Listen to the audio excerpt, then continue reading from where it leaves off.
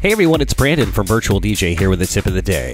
Now, using different colors to mark your tracks in the browser is a great visual tool to help you organize and quickly recognize which tracks may or may not work well in your set. For example, you can use color codes to mark tracks that are questionable or have explicit lyrics, or you might use color codes to indicate dance floor reaction.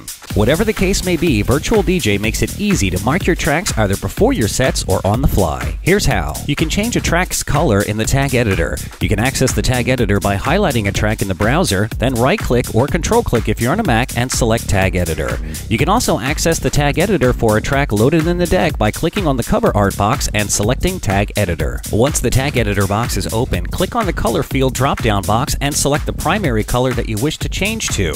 Then select the gradient or shade. Click OK to save the edit and close the tag editor. You can also change the color of multiple tracks at once. Using your OS keyboard shortcuts Control, Command, or Shift plus click, you can highlight multiple tracks in the browser, then right click or control click on a Mac and open them all up in the tag editor. Select a color in the color field, then click OK to change the color for all tracks selected. To revert tracks back to the default color, click on the X in the color drop-down box in the tag editor, then click OK to close. Now that you have tracks color coded, you might consider creating a filter folder that will show tracks with specific colors. In the left-hand folder browser section, click on the folder or location where you want the filter folder to be created.